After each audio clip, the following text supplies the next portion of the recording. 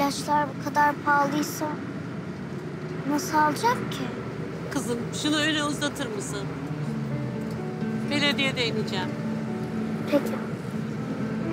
Bir belediye uzatır mısınız?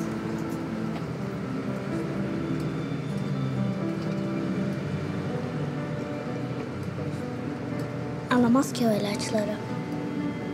Sonra para bulmak için kötü şeyler yapacak yine. Yapmışsın. Benim yüzümden zaten.